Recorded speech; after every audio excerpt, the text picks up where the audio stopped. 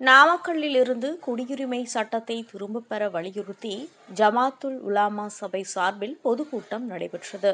India முழுவதும் இந்திய குடியுரிமை சட்டத்தை திரும்பப் பெற வலியுறுத்தி போராட்டங்கள் நடைபெற்று வருகிறது.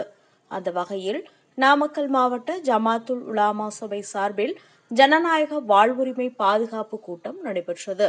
இந்த கூட்டத்தில் ஜமாத்துல் உலாமா சபையின் மாநில தலைவர் பி ஏ காஜா மொய்தீன் மே பதினேழு இயக்க ஒருங்கிணைப்பாளர் திருமுருகன் காந்தி உள்ளிட்டோர் கலந்து கொண்டு இந்திய குடியுரிமை சட்டத்தை திரும்பப் பெற வலியுறுத்தி சிறப்புரையாற்றினார்கள்.